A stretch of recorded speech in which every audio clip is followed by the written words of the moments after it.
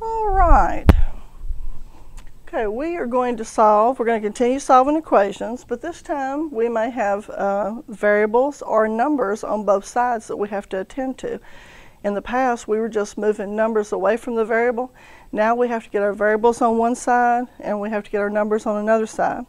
Now, I don't want to work these, but I do want to set them up so we can work them, and I want you to follow the rules. When we're solving a linear equation, the first thing to do is what? Distribute. And we've got some distribution to do here, so let me distribute. Okay, we have 4 times 4x is 16x plus 12 equal 2x minus 8 plus 7. Now, I still can't can't uh, solve this yet because even though this looks pretty good on this side, I have a couple of numbers over here that need to be combined. So let me rewrite it again with everything combined so I can begin to work the problem. So the 16x plus 12 will, will remain the same. The 2x will be the same, but I need to combine my negative 8 and my positive 7. And a negative 8 and a positive 7 is a negative 1. And we'll start working some equations like that, but I just wanted to remind you that as we begin working them, we're going to follow the steps that I have on the board to make sure that we take care of everything in its proper order. On this one, it looks to me like we have to distribute on both sides, so let's distribute. 3 times x is 3x. 3 times a negative 8 is a negative 24. And on the right hand side, 2 times x is 2x and 2 times a positive 4 is a positive 8. Now what's different about this is now that we have distributed, I don't see anything to combine like terms on because we're going to keep these as two separate sides. There's nothing to combine over here. You've got your x and your number, and you have your x and your number over here. So as we move into our next set of equations, we're going to be setting it up just like this, and then we're going to have to move our x's to one side and then move our numbers to the other. But the process is the same, just like what we've been doing, we just have an extra step here. All right, so this is how we're going to set them up, and then we're going to solve. Okay, here comes your first one. Okay, very first one is going to be 3 times x plus 2 equal 3 times 2 plus x. All right, let's distribute first and then we'll start moving x's, the variable, and then move the numbers. 3 times x is 3x. 3 times a positive 2 is a plus 6. On the other side, 3 times 2 is 6, and 3 times a positive 1x is a plus 3x. Now this looks interesting. I gave this to you on purpose at the beginning because it's one of the easiest ones to do. I, I am getting ready to move my x's. But look at this. It doesn't matter which way I move. If I move this 3x over here, take away 3x, that clears. Take away 3, well, that clears. No matter which way I go, the x's are going to clear out. And that's okay because the equations on either side are identical. They're not in the same order, but they're identical. So now, no matter which way I move the x's, those x's are clearing out. Not to zero, just clear, gone, finished, nothing left. And then I go, well, wait a minute. Those sixes, no matter which way I go, the sixes clear out too. That's a good thing because if the left side and the right side are identical, like identical twins, whatever will work for one side will work for the other. So when everything is clear, I say to you, all clear, and you will say to me, all real numbers. Okay? That's like saying x is equal to x. If x is equal to 5, then it's equal to 5 over here. That means that any real number that you choose to sub in for these x's will work. So when all variables and all numbers clear out because they're identical, the answer is all clear, all real numbers. So that would be the answer for this problem right here. Okay? Okay, so the first type that I showed you, all real numbers because everything cleared out. All right? Okay, let's go to another one. Okay, this time I'm going to go 4 times x minus 2 equal 4 times 4 plus x. Make that look like a 4. Okay, now here we go. 4 times x is 4x. 4 times negative 2, negative 8. And then over here, I have 4 times 4 is 16, and 4 times the 1x is plus 4x. Now, let's begin with our x's. No matter what I do, it's just like the last one, no matter what I do, if I move this 4x over here, that will clear, and I put the negative 4x, that will clear.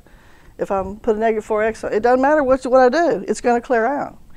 So since they are on opposite sides and they are identical, the x's are going to clear out. Now, this is kind of like the coach of the coaches of two teams walking off and leaving. You can't solve for x if you don't have x. And all we have now is a negative 8 equals 16. Coaches went walking off, there are no x's, and these do not clear out, and a negative 8 does not equal 16. So on this one, there is no possible solution to this. So I'm going to go no solution. All right. So our second type is no solution. If the x's clear out, that's why I always look at x's first. If the x's clear out, leaving you with two numbers that do not equal, and they do not clear out, then we're going to have to call that no solution. There is no number in our number system that I can put here to make the left side and the right side equal. There is no solution for this equation. All right? Okay, let's try the third kind. Let's say we have 5, and I'm going to go x minus 2 equal 6 x plus 3. All right, now it says to distribute. Combine like terms if you can on the left and the right, and then begin to isolate the variable. Here we go. We have 5x minus 10 equal 6x plus 18. Okay, now I think we can do something with this. We have a 5x and a 6x, and I need to get them together because they're on opposite sides. Now, I could do, and I think I will, it doesn't really matter if you take the 6x and move it over here, or if you take the 5x and move it over there. Just remember to add the opposite. I usually try to move it in a way that will keep the, the x positive, but we don't have to. I'm going to add the opposite to move this x to the right hand side. I'm going to add a negative 5x, which will clear it, and over here, I'm going to add a 5x. Oh, excuse me, a negative 5x.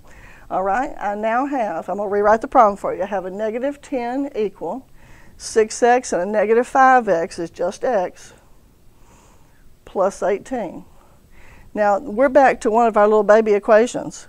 It's time to move the number away from the variable. And so I'm going to tell that 18 to move to the other side. And I'll do that by adding the opposite, negative 18, over here, negative 18. I now have x is equal to negative, and more negative makes whole bunch of negative. x is equal to a negative 28. So in this instance, we did have one answer and only one answer. The only number that will work for these equations, or for this entire equation, is negative 28. Okay? All right, now let's look at another type.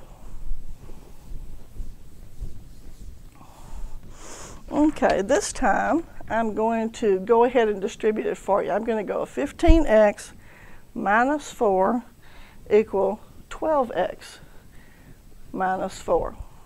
All right, pretend like I've already distributed, or maybe I didn't need distribution after all. it's time to get the x's together. Now, I can move this with a negative 15 on both sides, but that will create a negative x. So I think I'd like to move the 12 to the left-hand side, the 12x. So I'm going to take away 12x to clear, and I'm going to take away 12x right there. Now let me rewrite the problem for you.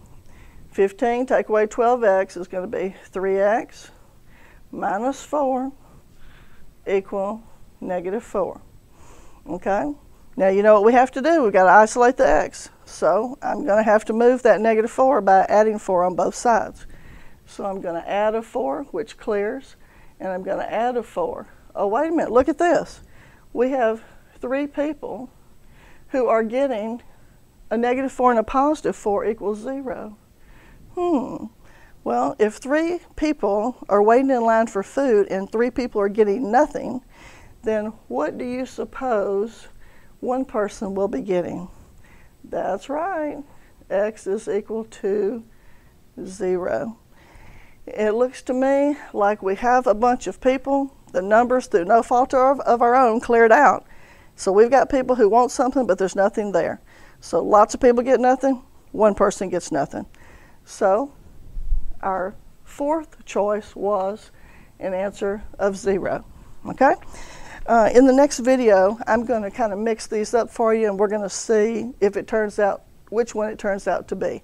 Remember, all real numbers is when you've distributed and combined your like terms and everything clears out. The variables and the numbers on opposite sides clear out. All real numbers. Anything, any real number will fit in there to solve the equation. And then the second one we did was we lost the x's, they cleared out, leaving us with numbers that don't even equal. Like the coach walked off, leaving an uneven team right there. They can't play without the coach. You can't solve if you don't have if you don't have a variable, no solution. And then on the third one, we actually moved the x's in one direction, we moved the numbers in the other direction, and we were able to solve with a real answer, one real number answer. And then on the last one that I showed you, we ended up having a bunch of X is left over, but the numbers clear down. And so if we have nothing to share with anyone, then it doesn't matter if you have 4 or 40 or 2. The answer is 0.